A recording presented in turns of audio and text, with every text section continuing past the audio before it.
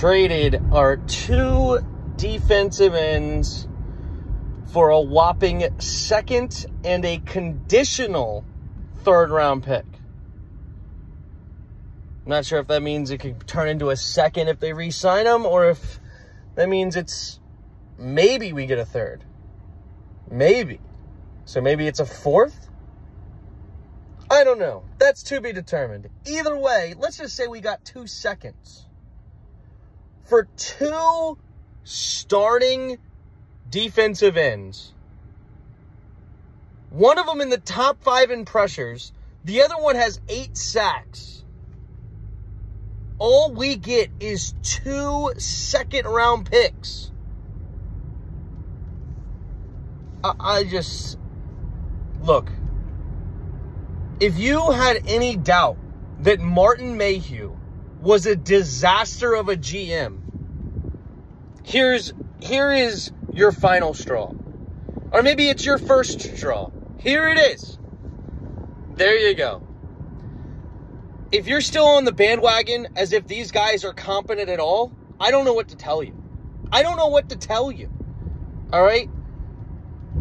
They are terrible at running an organization. The Harris Group needs to fire them immediately. This is just just disgusting. Hand the keys to Eric Bieniemy for the season. See if he can't show some promise, and then maybe we move forward with him. And then we need to bring in an actual GM that doesn't have an 0 17 record on their resume two winning seasons in 11 seasons.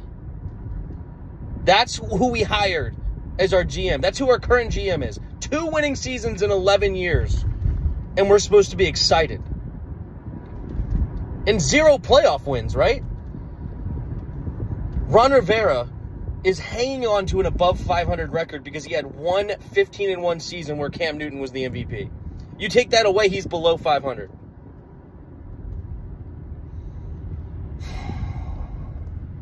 They decided to go with one of the worst offensive lines. It's just crazy. We can go on and on.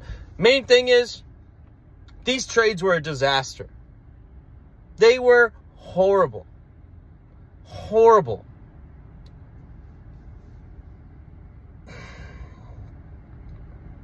Bradley Chubb ended up getting way more, demanding way more. And he had less sacks and less pressure between less sacks than Sweat, less pressure than Chase. We suck, guys. We suck. We need an actual GM. Harris Group, please go after somebody in the Eagles organization that knows what they're doing because we are horrible. Uh, yeah, so just saw those things out there, and I'm at work right now, but I just wanted to get that out there to you on my thoughts. And uh, you guys let me know what you think in the comments below. Hit the like button, hit the subscribe button, all that good stuff, and I'll see you next time. And until next time, see ya!